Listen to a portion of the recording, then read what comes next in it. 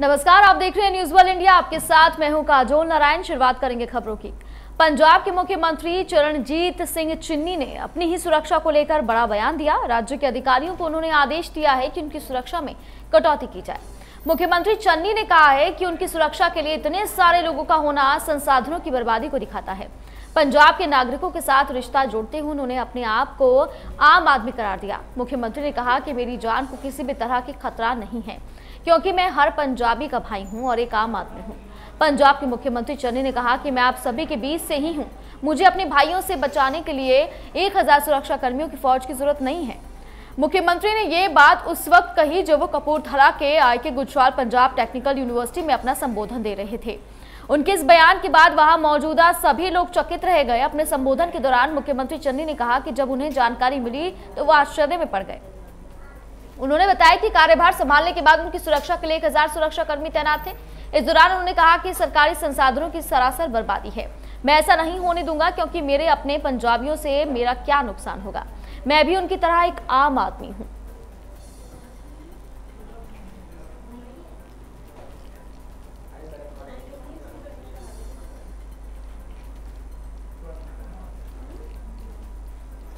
तो पंजाब के मुख्यमंत्री ने सुरक्षा में कटौती मांगी है। अपने संबोधन के दौरान उन्होंने ये बात करके सभी को आश्चर्यचकित कर दिया।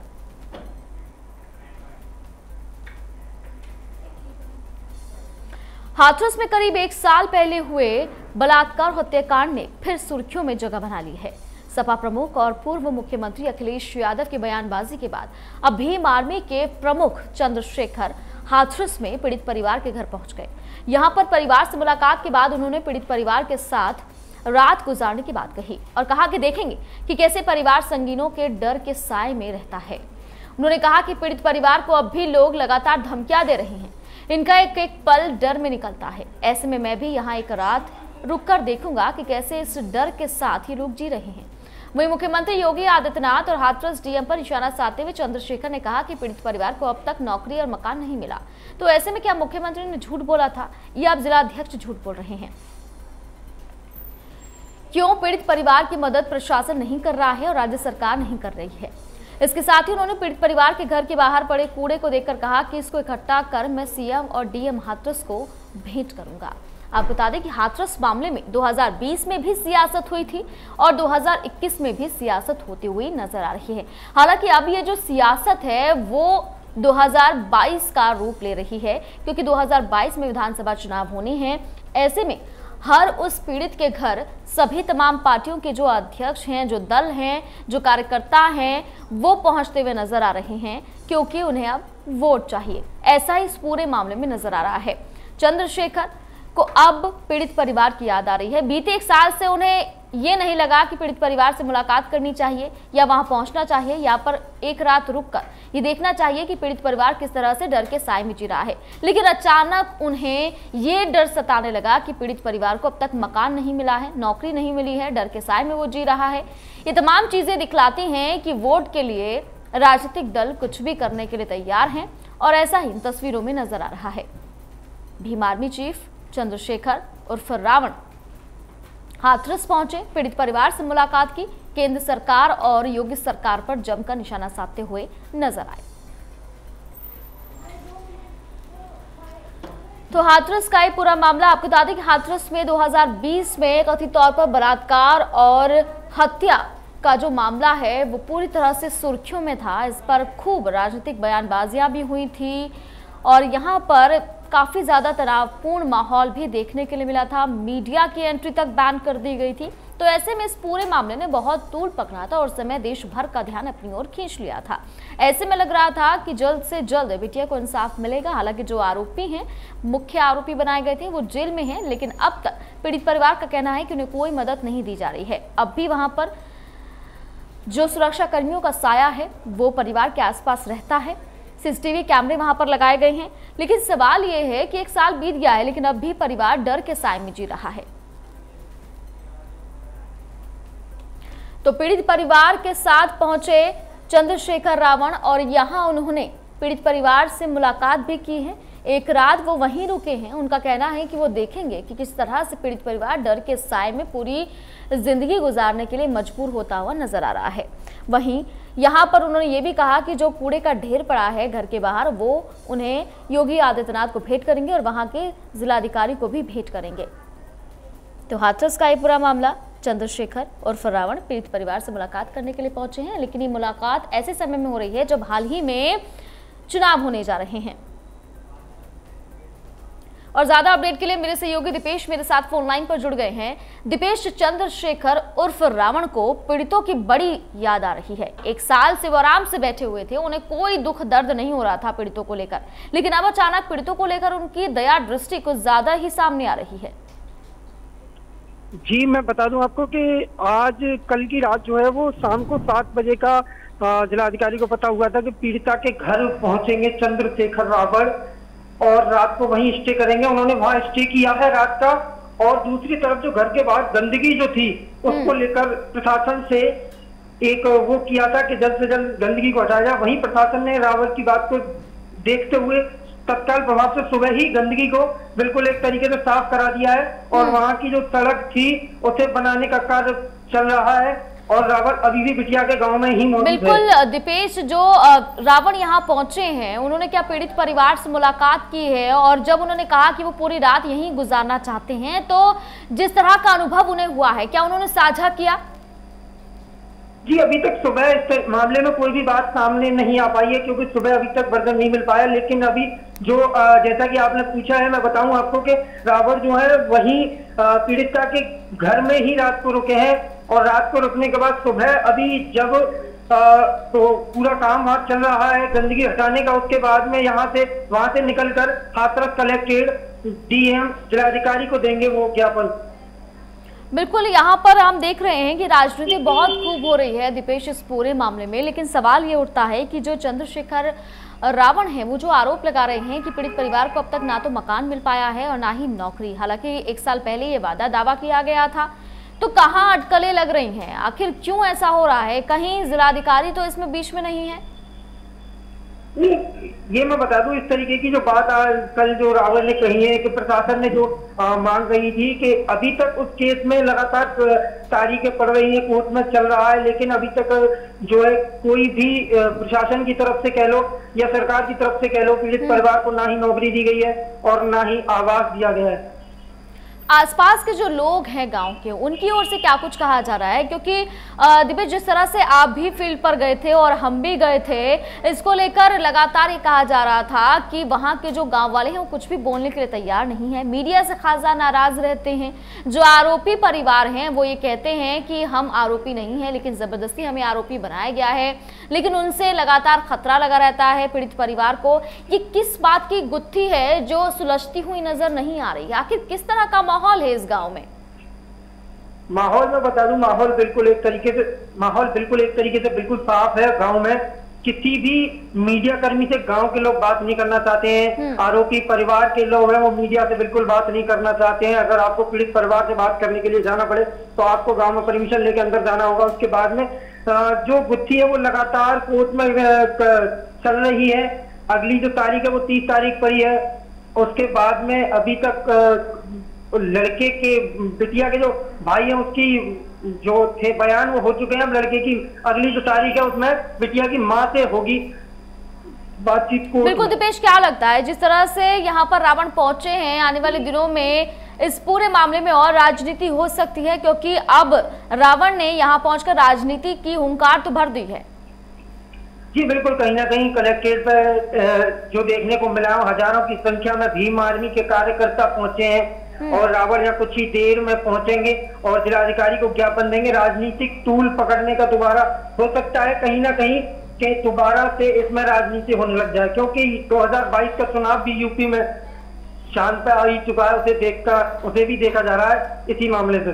चलिए ठीक है बहुत शुक्रिया तमाम जानकारी पहुँचाने के लिए। तो हाथरस पहुँचे बीमार में चीफ चंद्रशेखर उर्फ़ रावण और वहाँ पहुंचकर उन्होंने पीड़ित परिवार के साथ पूरी रात गुजारी। उनका कहना है कि उन्हें देखना है कि किस तरह से पीड़ित परिवार डर के साई में जी रहा है। क्योंकि लगातार ये जानकारी मिल रही है कि अब भी पीड़ित परिवार डरा हुआ है। ऐसे में उनके घरों पर सीसीटीवी कैमरे लगाए हुए हैं। साथ ही साथ पुलिस बल भी पूरी तरह से वहाँ पर तैनात रहता है। अगर गाँव में किसी भी बाहरी को एंट्री लेनी होती है तो पहले परमिशन लेनी होती है। हालाँकि अगर मीडिया कर्मी भी वहाँ पहुँचने की कोशिश करते हैं तो उनको भी परमिशन लेनी पड़ती है। तो अंदाज़ा आप लगा सकते हैं कि माहौल अब भी बुलगड़ी का ठीक नहीं है।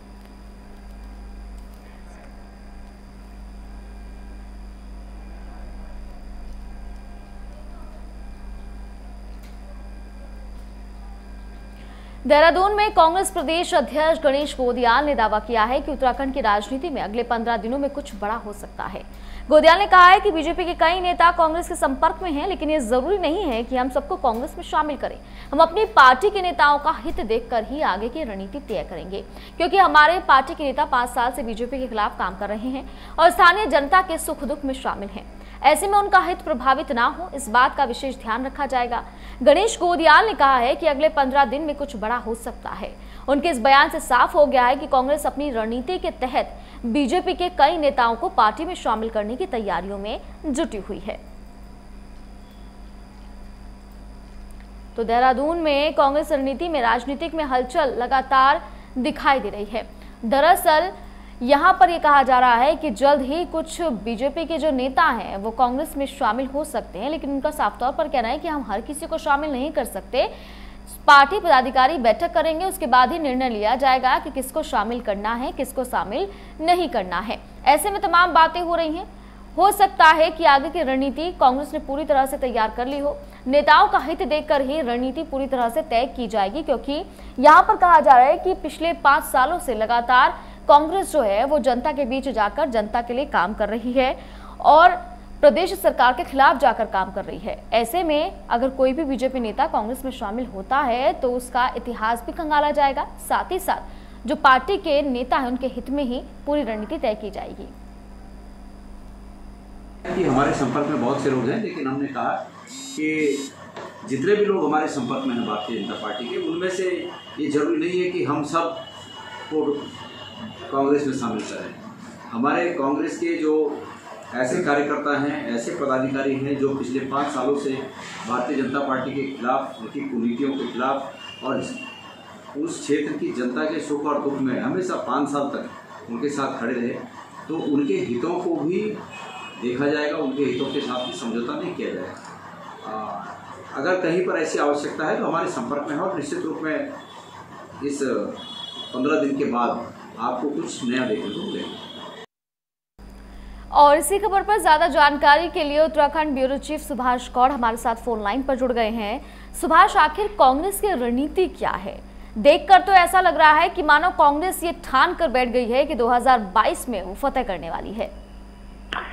जी, बिल्कुल, लगातार जिस तरीके से चुनाव नज़दीक आ रहे हैं, उसके बाद राजनीतिक दल कहीं ना कहीं तैयारियों में ज़रूर जुटे हैं, लेकिन वहीं दूसरी तरफ़ मुख्य विपक्षी दल कांग्रेस की बात करें तो वो अभी भी ये गुणगान गाती हुई नज़र आ रही है कि अगले 15 से 20 दिनों में कुछ बड़े चेहरे कांग्रेस में शामिल हो सकते हैं जो कि भाजपा के बड़े नेता होंगे लेकिन हम्म। ये बात कही जा सकती है कि पिछले लंबे समय से जब से गणेश गोदियाल को अध्यक्ष बनाया गया उसके बाद से ही वो इस तरीके की बातें कर रहे हैं लेकिन केवल भाजपा कार्यकर्ताओं के अलावा किसी बड़े चेहरे को अभी तक पार्टी में शामिल नहीं कर पाए लेकिन अब जिस हम्म। तरीके से चुनाव से पहले वो कह रहे हैं कि कुछ बड़े चेहरे भाजपा छोड़कर कांग्रेस में शामिल होंगे और कांग्रेस कहीं ना कहीं 2022 के चुनाव में बिल्कुल सुभाष उस तरह की बयानबाजी गणेश गोदियाल पहले भी कर चुके हैं। सुभाष अगर गणेश गोदियाल की बात की जाए तो जमीनी स्तर पर इनकी पकड़ कैसी है? जनता में ये कैसी छवि रखते हैं?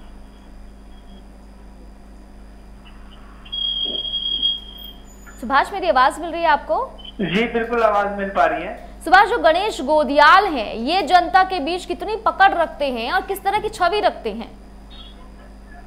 जी बिल्कुल गणेश गोदियाल की छवि कहें तो काफ़ी शांत स्वभाव के माने जाते हैं और क्योंकि श्रीनगर विधानसभा जो मुख्य सीट है ये इनकी लगातार पसंदीदार सीट रही है और यहीं से वो हम्म। लगातार चुनाव जीतते भी आए हालाँकि राठ समुदाय के वो नेता कहे जाते हैं लेकिन बड़ी चुनौती ये है कि अब केवल श्रीनगर विधानसभा को ही नहीं बल्कि पूरे प्रदेश को उन्होंने देखना है क्योंकि उनको अध्यक्ष बनाया गया है कांग्रेस और पूरे प्रदेश में 2022 के चुनाव की जो तैयारी है वो उनके बलबूते की जाएगी क्योंकि उन्हीं को ही संगठन की तरफ़ से सारी तैयारियाँ भी करनी है और हम्म। जो विधायक है उनको जीत कर विधानसभा तक पहुँचाने की ज़िम्मेदारी भी उनके पास है लेकिन देखना होगा की इस नई ज़िम्मेदारी को कितने बखूबी वो निभाते हैं और इसका परिणाम 2022 के चुनाव में कितना मिल पाता है कांग्रेस को ये भी देखना होगा। लेकिन बड़ी चीज़ चुनौती ये है कि जहाँ कांग्रेस गणेश गोदियाल पर भरोसा जता रही है हरीश रावत पर भरोसा जता रही है तो वही दूसरी तरफ़ जो पूर्व में नेता अध्यक्ष रहे हैं और नेता प्रतिपक्ष है प्रीतम सिंह उनकी गुटबाजी कहीं ना कहीं नज़र आ रही है क्योंकि जिस तरीके से कांग्रेस में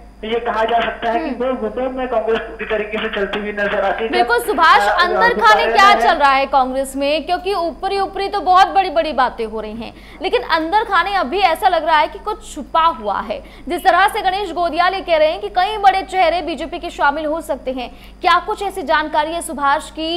इन नामों पर चर्चा हो रही है या ये नाम शामिल हो सकते हैं? बिल्कुल अभी तक नाम उन्होंने साफ़ नहीं किए हैं लेकिन जैसे कि मैंने पहले बताया जब से वो अध्यक्ष बने हैं तब से लगातार वो बातें ये ज़रूर कर रहे हैं कि भाजपा के कुछ बड़े नेता वापस पार्टी में आ सकते हैं पार्टी में उनको शामिल कर सकते हैं। चाहे वो बागी नेता हों जो भाजपा कांग्रेस छोड़कर भाजपा में शामिल हुए थे 2016 में या फिर यूँ कहा जा सकता है कुछ नाराज़ विधायक भी हो सकते हैं लेकिन ये अभी आप कहना ठीक नहीं होगा कि आखिरकार वो नेता कौन हालाँकि कांग्रेस ने पंद्रह दिन का समय दिया है कि पंद्रह हम्म। दिन के भीतर वो उन चेहरों को अपनी पार्टी में शामिल करेंगे। अब देखना होगा कि उन चेहरों से कितना फ़ायदा कांग्रेस को बिल्कुल सुभाष इंतज़ार रहेगा कि कांग्रेस इस तरह से फेरबदल कर किस तरह की रणनीति अपनाती है। फ़िलहाल के लिए बहुत शुक्रिया सुभाष तमाम जानकारी पहुँचाने के लिए। तो गणेश गोदियार यहाँ पर पूरी तरह से कॉन्फिडेंट नज़र आ रहे हैं।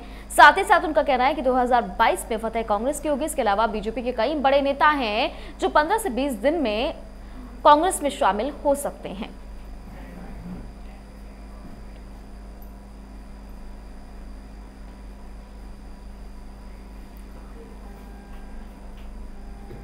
भारत में कोरोना एक्टिव केस घटकर करीब तीन लाख हो गए हैं। स्वास्थ्य मंत्रालय की ओर से शुक्रवार सुबह जारी किए गए आंकड़ों के अनुसार, पिछले 24 घंटों में इकतीस हज़ार से ज़्यादा नए कोरोना केसेस सामने आए और 318 कोरोना संक्रमितों की जाँच चली गई।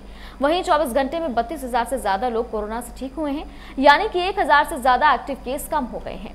देश में सबसे ज़्यादा कोरोना मामले केरल में सामने आ रहे हैं। केरल में कल कोविड के 19,000 से ज़्यादा नए मामले सामने आने के साथ ही कोरोना वायरस से संक्रमित लोगों की कुल संख्या बढ़कर 45 लाख से ज़्यादा हो गई है।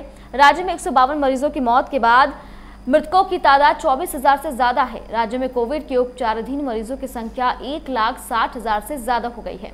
कोरोना महामारी की शुरुआत से लेकर अब तक कुल तीन करोड़ पैंतीस लाख चौरानवे हज़ार लोग संक्रमित हुए हैं। इनमें से चार लाख छियासी हज़ार तीन सौ अड़सठ लोगों की मौत हो चुकी है। अच्छी बात यह है कि अब तक तीन करोड़ अट्ठाईस लाख अड़तालीस हज़ार लोग ठीक हुए हैं। देश में कोरोना एक्टिव केस की संख्या करीबन तीन लाख है। कुल तीन लाख एक सौ बासठ लोग अब भी कोरोना वायरस से संक्रमित हैं, जिनका इलाज भी लगातार जारी है। तो कोरोना एक्टिव केस घटकर तीन लाख से कम हो गए हैं। दूसरे दिन भी तीस हज़ार से ज़्यादा मामले सामने आए हैं।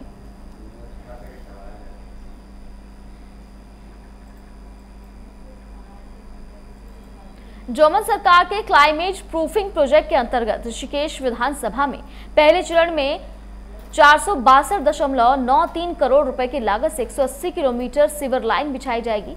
साथ ही इसमें पंपिंग स्टेशन और एसटीपी प्लांट निर्माण का कार्य भी होगा। विधानसभा अध्यक्ष प्रेमचंद अग्रवाल ने कहा है कि इस योजना के रूप में ऋषिकेश विधानसभा क्षेत्र को बड़ी सौगात है।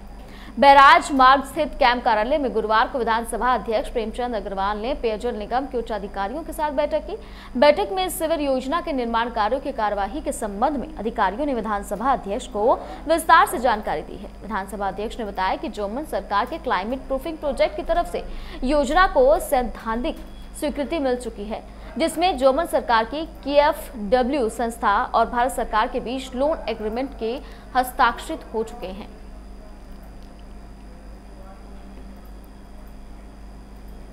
जो शहर और कुछ ग्रामीण क्षेत्रों को मिला के सीवरेज योजना बहुत पहले से प्रस्तावित थी और अनेकों बार इसके बारे में मैं अधिकारियों से बातचीत भी कर चुका हूँ।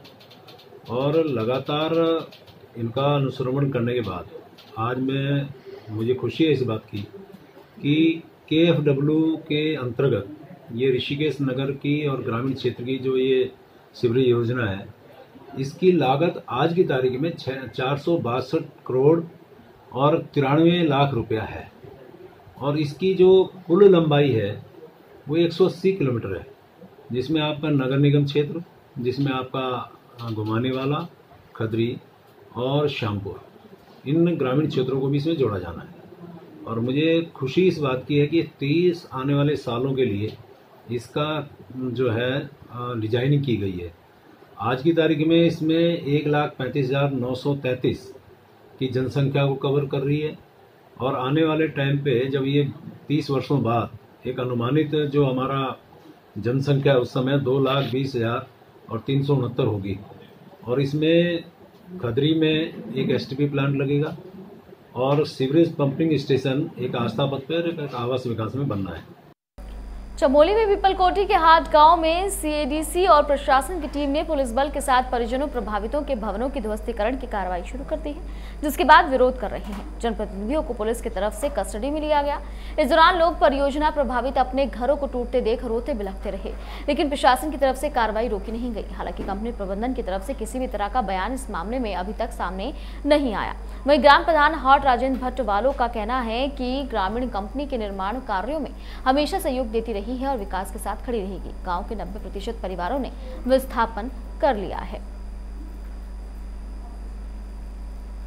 तो चमोली की तस्वीरें आप देख रहे हैं। जनप्रतिनिधियों को कस्टडी में लिया गया है। घरों को टूटता देख रोते बिलखते ग्रामीण नज़र आए हैं। और वहाँ फेंक दिया। अब मेरा सामान कुछ नहीं कुछ नहीं मिला मेरे को। एक बक्सा भेज रखा है उस टीन शेड में, जिसमें मेरे ताला लगाया था। वो ताला तोड़ के मेरे अपना खर्चा रखा था, उसमें तीस हज़ार रुपये रखे थे। बैंक से बार बार कौन जा रहा हूँ, आँख नहीं देखता उस वो। इसलिए मैंने एक ही बार लेके तीस हज़ार रखे थे उसमें कि खर्चा होते रहेगा, बैठा हूँ घर में। और उन लोगों ने वो पैसे भी नहीं, उस उसमें वो पैसा नहीं बक्सा में। प्रशासन के द्वारा मेरे साथ बड़े दुर्भाग्यपूर्ण तरीके से मेरे को घसीटा गया। मेरी मिसेज को भी पाँव पकड़ के, हाथ पकड़ के ऐसे घसीटा गया पत्थरों में, और मेरे को भी, जबकि मेरी दादी की तिथ थी, और मैं अपनी दादी की तिथ नहीं कर पाया। अंदर सारे प्रशासन के लोग और ये लेबर उन्होंने ऐसे भेज दिए जूते में, जो मैं नहीं कर पाया, और मुझे उसका बड़ा दुख है, जो हमारे उसमें संस्कारों में है कि श्राद्ध पक्ष आते हैं तो तिथ करना बहुत ज़रूरी होता है, वो मैं नहीं कर पाया। इन्होंने स्वैच्छिक विस्थापन हमको बताया था कि स्वैच्छिक विस्थापन कर रहे हैं। तो हम लोग हमारी स्वेच्छा तो नहीं थी जाने की। और फिर इन्होंने जो टाइम दिया था कि तीन अक्टूबर तक हम समिति कमेटी बनाएँगे, उसमें जो भी निर्णय लिए जाएँगे, उसके बाद जो भी वार्ता होगी, उसके बाद हम जाते या रुकते, जो भी ये बात करते, लेकिन उससे पहले ही हमको इस तरह की इस घटना से गुजरना पड़ा। शासन, प्रशासन आए, हमारे मकानों को ध्वस्त कर दिया गया हमको बाँध के चमोली उसमें थाने में ले ले गए।